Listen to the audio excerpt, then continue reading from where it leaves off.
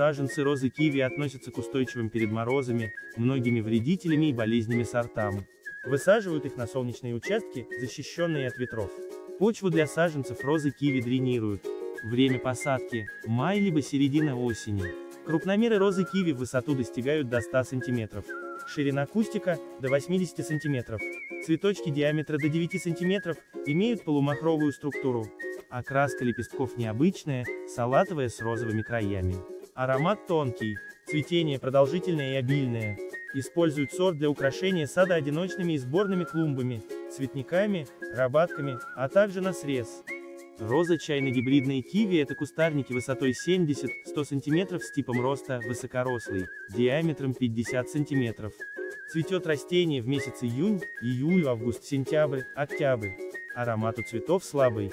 Окраска цветка салатовый с розовым краем. Размер цветка этого прекрасного растения достигает 8-9 см. Летом листва зеленая, осенью листва зеленая. В качестве места выращивания прекрасно подходит открытый грунт.